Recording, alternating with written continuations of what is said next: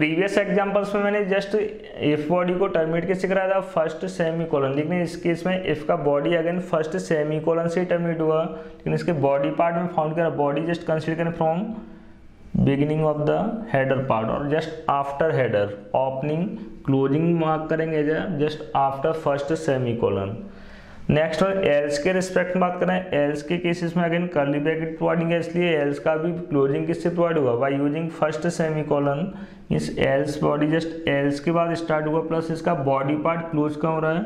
Just after first semicolon इस case में physically ऐसा लग रहा है प्रिंटेब स्टेटमेंट क्या लाइक बॉडी ऑफ़ एल्स लेकिन प्रिंटेब वर्ल्ड मैसेज, वर्ल्ड और प्रिंटेब स्टेटमेंट, एल्स बॉडी का पार्ट है और outside else outside else. There is no way related to if else condition इस केस में अगेन 25 पास किया 25 means non zero number condition is true true then chance किसको provide होगा body of if if body के according display किसको हो रहा है? डिस्प्ले क्या हो रहा है इस केस में?